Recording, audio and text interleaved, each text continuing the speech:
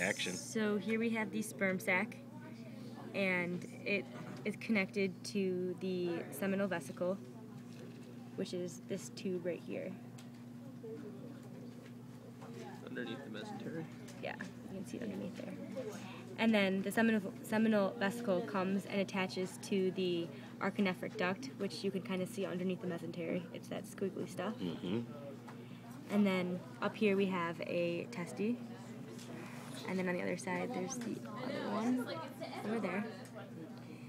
The archinephric duct, seminal vesicle, and sperm sac are all enclosed in the opisthonephros, which is the organ. All in here. And then coming down